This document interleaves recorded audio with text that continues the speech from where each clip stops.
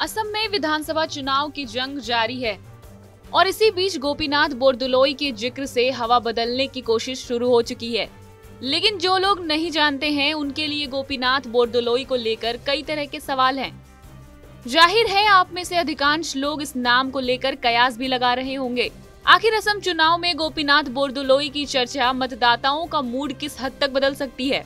दरअसल बीजेपी के वरिष्ठ नेता और केंद्रीय गृह मंत्री अमित शाह ने बुधवार को असम के कामरूप ज़िले के हाजू में एक चुनावी सभा को संबोधित किया और इसी दौरान गोपीनाथ बोरदोलोई की चर्चा छेड़ दी।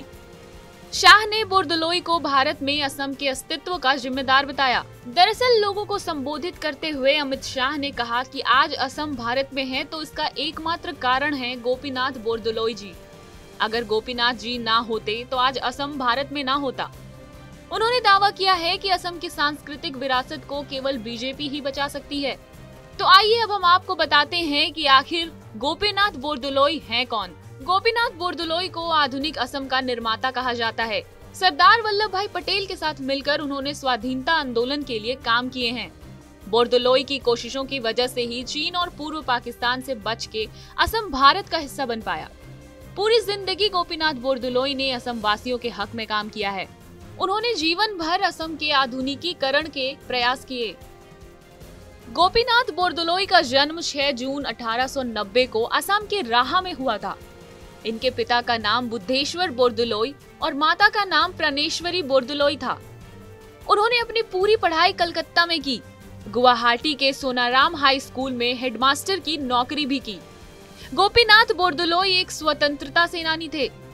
साल 1946 में कांग्रेस पार्टी से चुनाव जीतकर वो असम के पहले मुख्यमंत्री बने थे। असहयोग आंदोलन में भाग लेने की वजह से उन्हें साल 1922 में जेल भी जाना पड़ा था। 1930 से 1933 तक उन्होंने खुद को सभी राजनीतिक गतिविधियों से दूर रखा। साल 1932 में गुवाहाटी के नगर पालिका बोर्ड के अध्यक्ष भी बने थे। वहीं 60 साल की उम्र में 5 अगस्त 1950 को उनकी मृत्यु हो गई थी। उन्हें सन 1999 में भारत रत्न से सम्मानित किया गया था।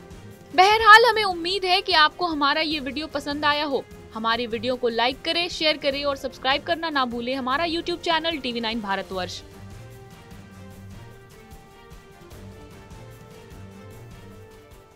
आपकी सेहत, आपकी बात। देखिए कैसे रहें फिट मेरे साथ। खान पान स्ट्रेस डिप्रेशन पर अब ज़रूरी है बात। मैं हूँ doctor Shikha Sharma. TV nine digital पर देखिए मेरे साथ। आप फिट तो सब हिट।